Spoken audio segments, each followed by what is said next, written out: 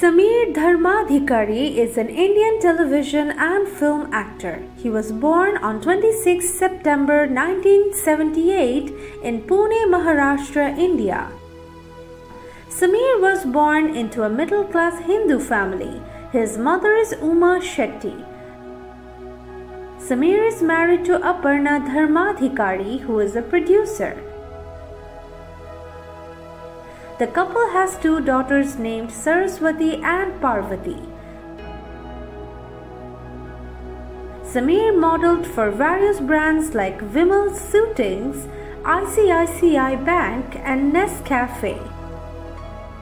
He made his Bollywood debut with the film Dil Kya Kare in 1999. He has worked in many films like Quicksand, Satta, Prem Ratan Dhan Payo, Farzand, and many more. Sameer has also worked in many shows like Jhansi Ki Rani, Buddha, Ye Rishte Hain Pyar Ke, etc. Sameer made his Marathi debut with the film Nirmala Machindraka in 1999. He also won the National Award for the Best Marathi Film for Niro.